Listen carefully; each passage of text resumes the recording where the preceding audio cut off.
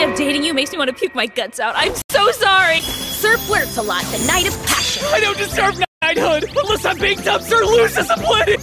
You never forget your first. Uh, a ton. Quite the go-getter for eight months Love you. Whoa, you aren't the knight, you're the monster he slays!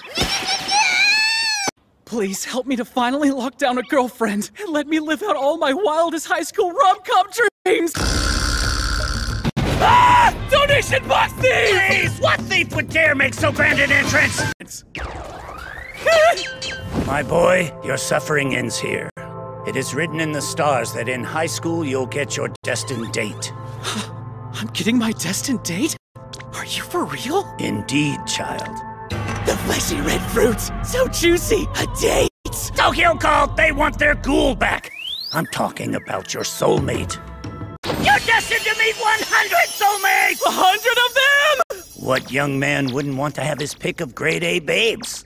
You're making me blush. When you meet, a sudden shock will run through your bodies. You'll feel an immense passion for each other, instantly falling head over heels. Sorry.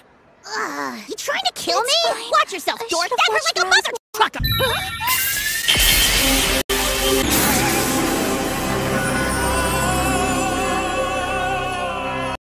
shock just ran through my entire body.